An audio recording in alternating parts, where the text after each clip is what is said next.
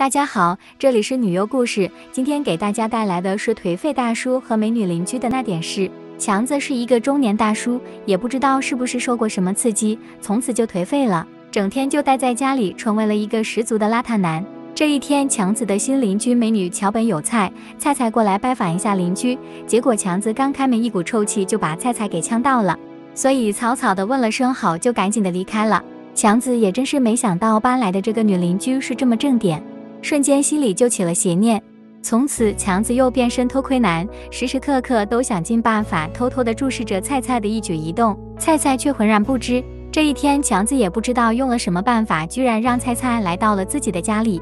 菜菜对强子这个像猪窝一样的家是一脸的嫌弃，但现在的强子已经不关心这个问题了，因为一只羔羊进了狼窝，趁着菜菜不注意，强子一个卧虎扑食，就和菜菜上演了激烈的活塞大战。就这样，菜菜的悲惨遭遇就此开始。再见。